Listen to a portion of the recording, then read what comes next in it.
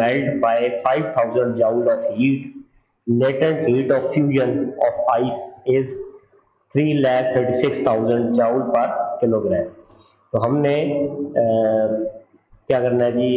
Ice जो है वो कितनी मेल्ट होगी? ठीक है जब हम पाँच हज़ार जाउल की हीट देंगे उसको और लेटेंट हीट ऑफ़ जो फ्यूजन है हमारे पास आइस का ये हमारे पास three lakh thirty six thousand kilojoule per kilogram है।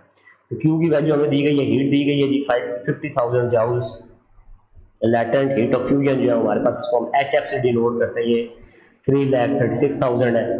फाइंड हमने क्या करना है? मैथ करना है हाउ मच आइस की, कितनी आइस जो है मेल्ट होगी इस हीट के साथ.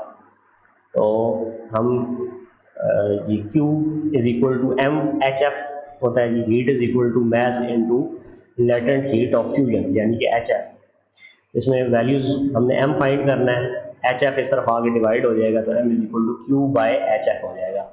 इसमें वैल्यूज़ पुट करो Q is equal to fifty thousand और sorry M is equal to Q की जगह फिफ्टी थाउज़ेंड आ गया और एच एफ़ की जगह हमारे पास three lakh thirty six thousand आ गया। इसको आप डिवाइड करेंगे कटिंग करें या आप डिवाइड करें तो आखिर में आपको answer zero point one five kilogram मिल जाएगा। तो पॉइंट वन फाइव किलोग्राम जो हीट आइस जो होगी वो मेल्ट होके पानी बन जाएगी। जब आप फिफ्टी थाउज़ेंड जाउल की हीट लगाएँगे उस पर उसके बाद अगला नोमेरिकल देखते हैं।